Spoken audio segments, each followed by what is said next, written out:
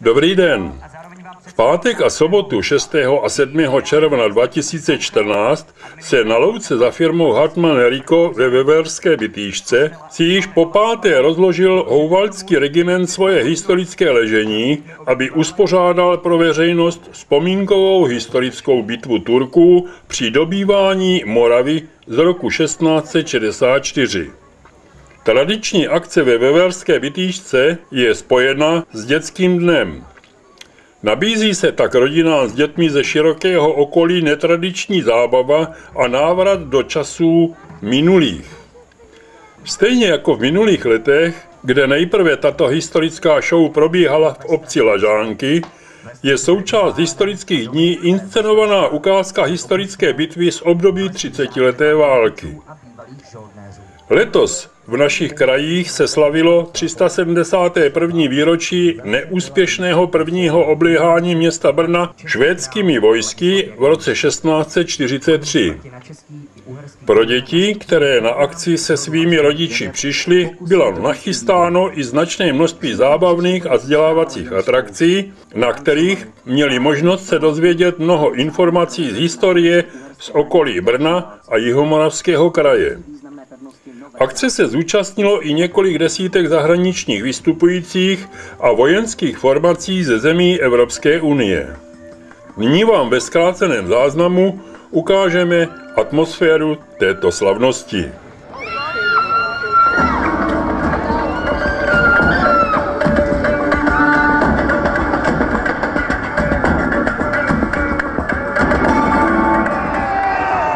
Turecké řádění bylo jako vždy strašné. Sebrali, co mohli.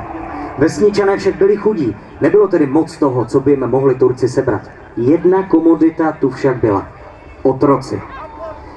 Všichni vesničané byli odvlečeni do tureckého tábora. Ti mladí měli ještě podivné štěstí. Stali se z nich otroci. Ale ty starší čekal strašný osud.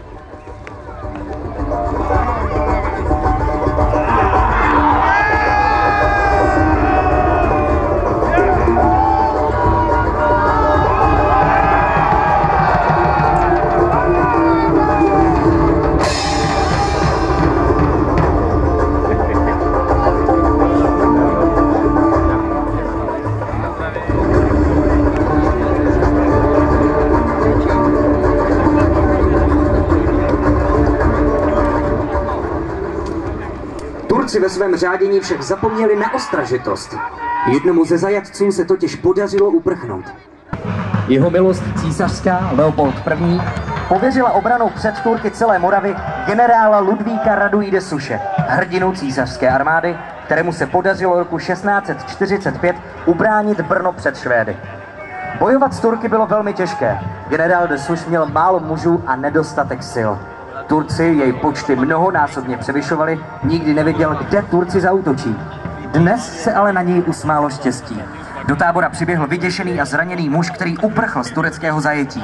Podrobně mu popsal, kde se turecký tábor nachází a generál de Suš na nic nečekal, vyhlásil poplach a vytáhl s vojskem proti Turkům.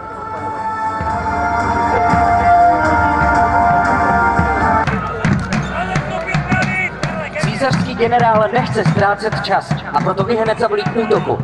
Nejprve chce vyzkoušet tureckou obranu a do boje vysílá několik jednotek.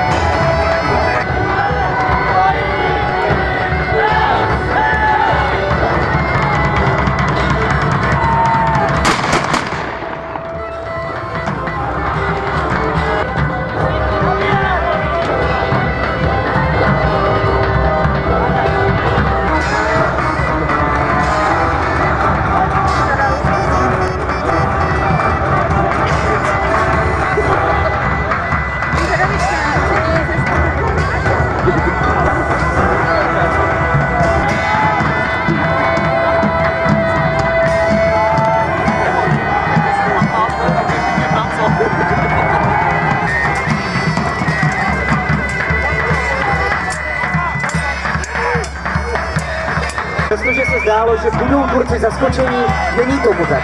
Jsou okamžitě připraveni k boji. Turci mají dobrou pozici a jsou to skvělí válečníci. Císařské čeká těžký boj. A Desuš je však rozhodnutý je tentokrát zničit. A proto dává znovu rozkaz útoku.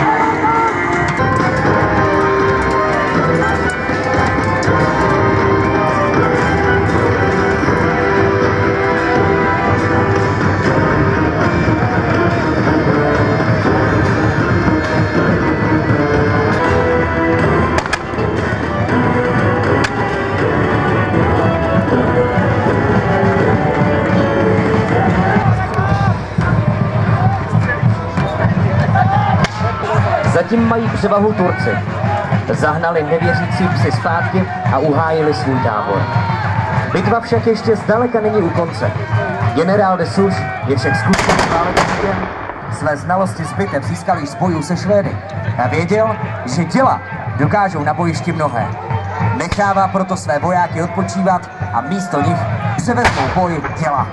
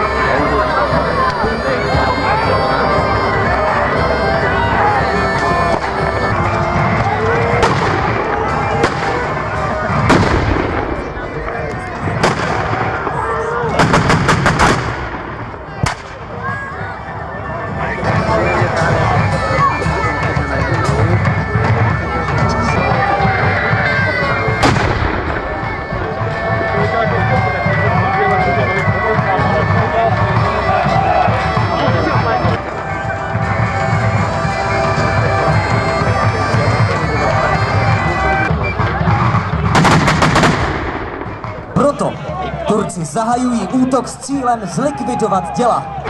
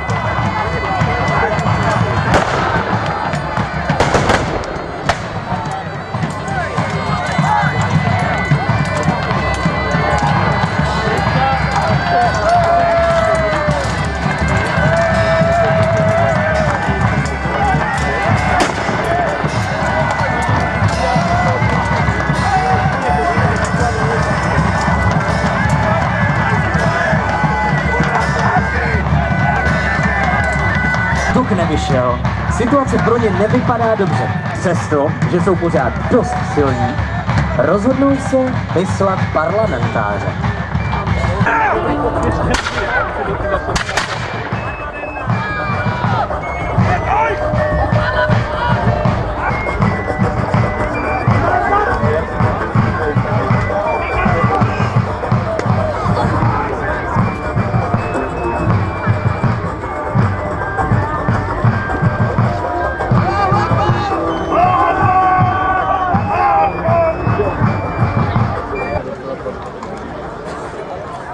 Turci se pro sebe snaží vyjednat volný odchod. Generál de Suš se však rozhodl, že tentokrát už Turci z Moravy v klidu neodejdou a rozhodně jim nenechá kořist, kterou si zde nakradli. Vyjednávání tedy končí bez výsledku.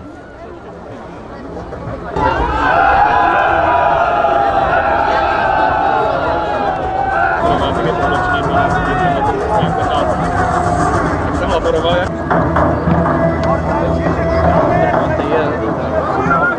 Teď se zdá, že císařští jsou ve výhodě.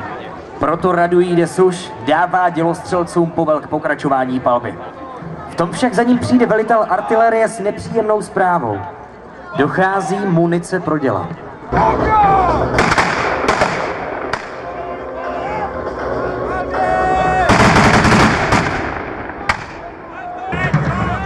Špatné zásobování a nepřipravenost na císařské straně se opět projevily.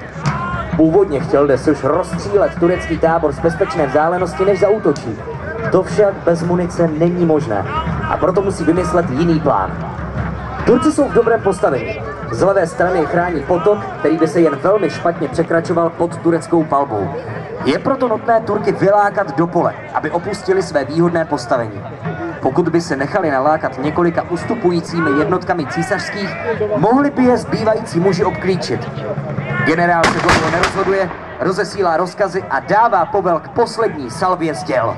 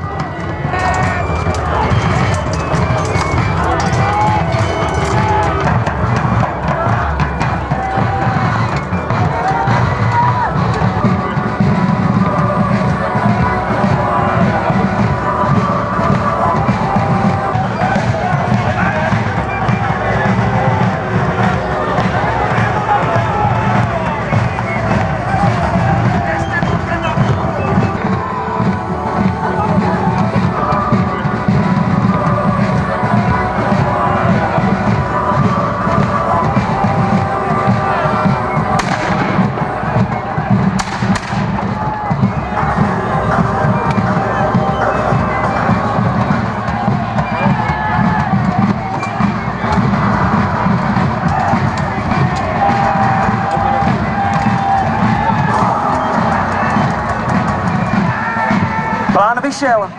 Turci byli obklíčeni a z části pobyti. Někteří prchají zpět do tábora. Na něj se ale zaměří vojáci nyní. Z původně disciplinovaných vojáků dělá vidět na kořisti houflů pičů. Nečekají na další rozkazy a pouští se i hned do plenění tureckého tábora. To, že osvobodí zajaté vesničany, je už moc nezajímá. Důležitější je kořist.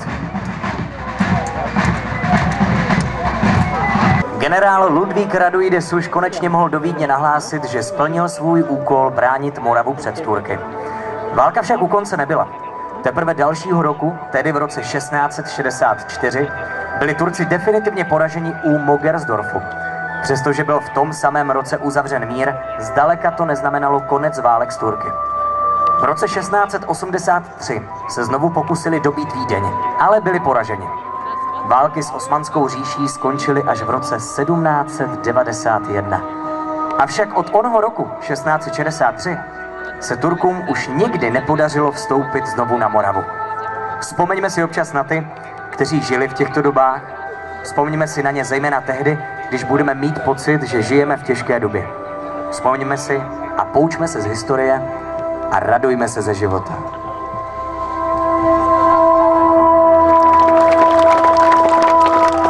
A samozřejmě pro jednotlivé šermířské skupiny, které si už za malou chvíli představíme. Poprosím vás, zůstaňte na svých místech, protože... Poprosím ještě jednou všechny skupiny, aby se trošku smrskly, abychom se do jedné řady vešli opravdu všichni, aby v tom naši milí diváci měli jasno, kdo je kdo a kdo pak, že se postaral o takovou zábavu, o rekonstrukci bitvy z roku 1663, kdy si Turci velmi naivně mysleli, že na nás, na Moraváky, vyzrají. Opak byl pravdou, přátelé, vy všichni jste toho byli svědky. Pevně věřím a doufám, že se vám líbilo.